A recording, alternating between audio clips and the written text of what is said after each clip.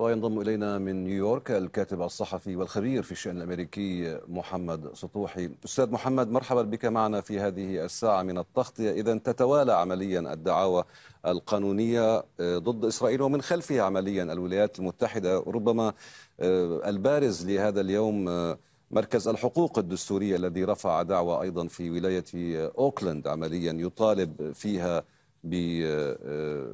بالمركز أن تتخذ أن يتخذ أو تتخذ المحكمة عمليا قرارا حول إصدار أمر طارئ لوقف الدعم العسكري والغطاء الدبلوماسي الأمريكي لإسرائيل. إلى أي مدى يمكن أن تنظر عمليا المحكمة في أوكلاند بهذه الدعوة بداية؟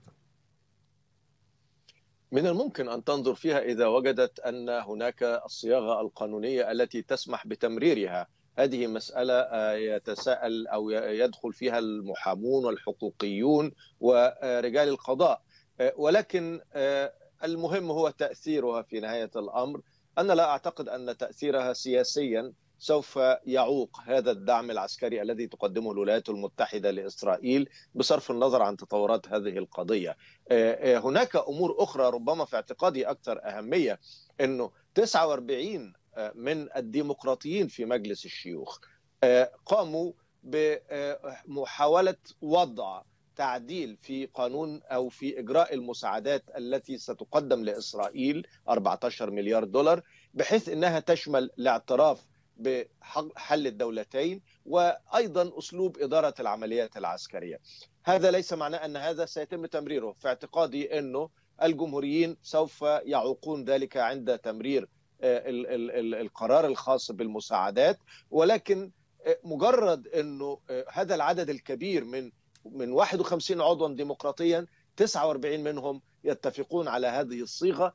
أعتقد إنه هذا في حد ذاته مؤشر على تحولات كبيرة سياسية خاصة في الحزب الديمقراطي. وهذه أمور في نهاية الأمر لها تأثيرها وإن كان غير مباشر وغير سريع على الإجراءات التي نتحدث عنها الآن لكنها في اعتقادي على المدى المتوسط والبعيد لها تأثير كبير.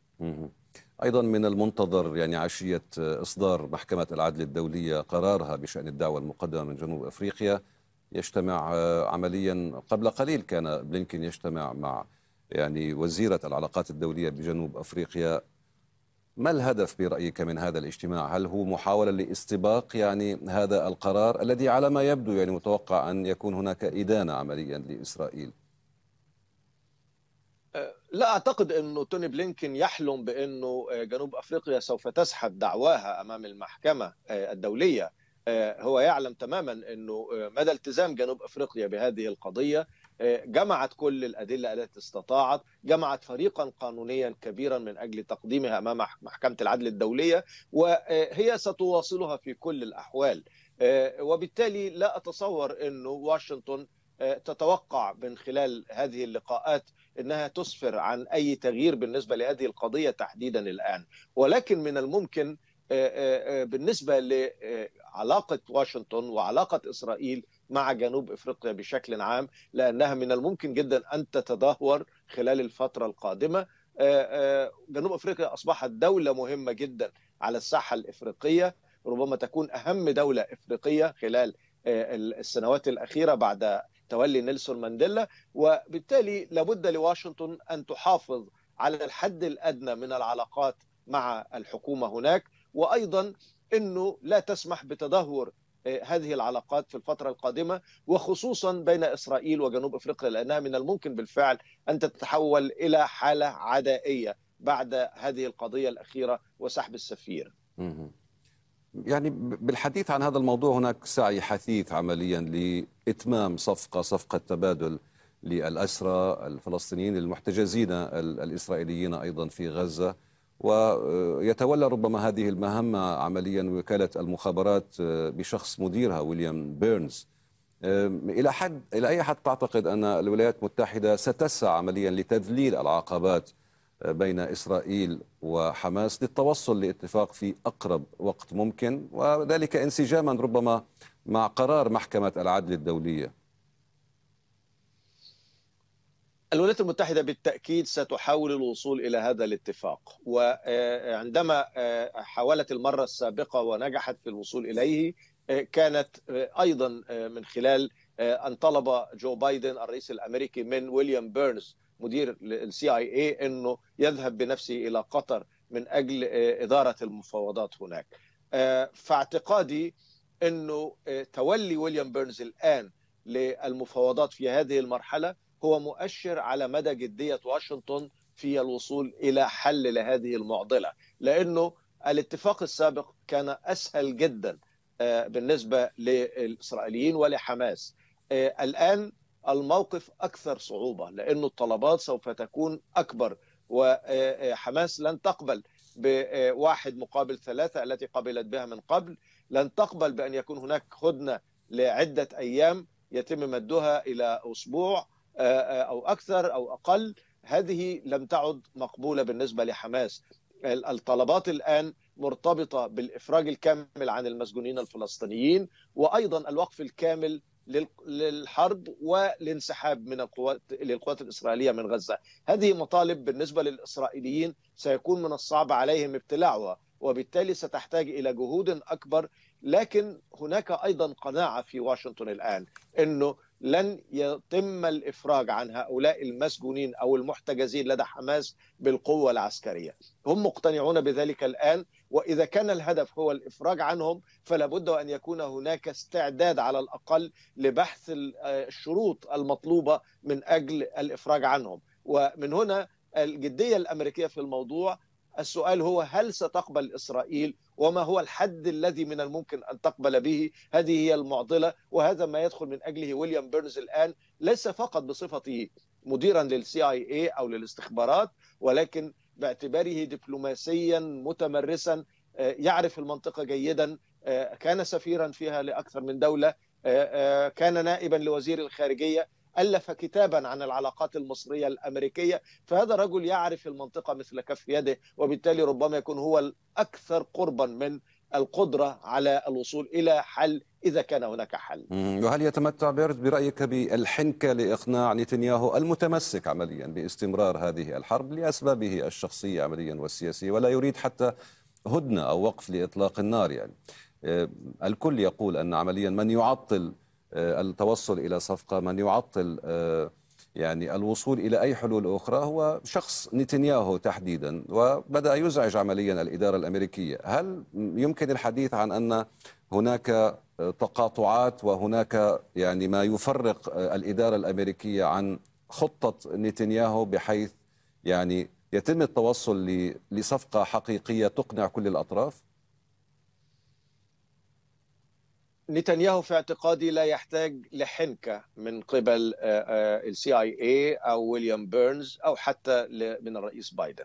نتنياهو لا يحتاج لإقناع، نتنياهو يحتاج إلى عضلات، يحتاج إلى ضغط، يحتاج إلى إنه يعلم إنه هذا خيار أمامك وهذا خيار آخر، وإذا لم تقبل بهذا فإنه الثمن سيكون ذاك. أعتقد إنه هذه هي اللغة الوحيدة التي يمكن لنتنياهو أن يفهمها. وهذه مسألة لا يمكن لمدير السي آي اي إنه يحققها في مداولاته مع الإسرائيليين أو مع نتنياهو.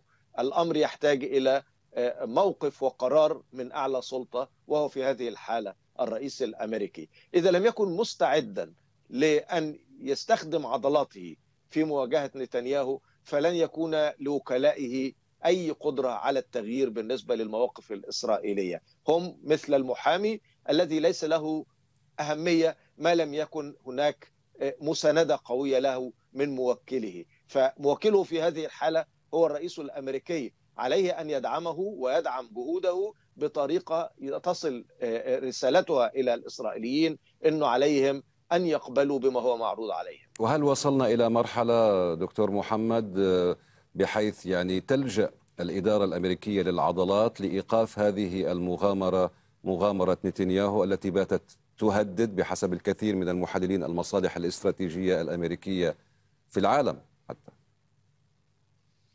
لا أعتقد أننا وصلنا إلى مرحلة العضلات، هم في مرحلة الصراخ العلني. كانوا في البداية يتحدثون من خلال القنوات الخاصة والسرية مع الإسرائيليين في إطار التهدئة، في إطار النصائح، في إطار الحث ولكن لم تكن هناك أي استجابة. فالطريقة التي لجأوا إليها من أجل الضغط هي الخروج العلني للتعبير عن رفضهم للسياسات والمواقف الإسرائيلية ولكن هذا التعبير العلني عن مواقفهم لم يغير شيئا أيضا من سياسات إسرائيل لأنه نتنياهو يعلم تماما أنه هناك فارق بين النباح والعض.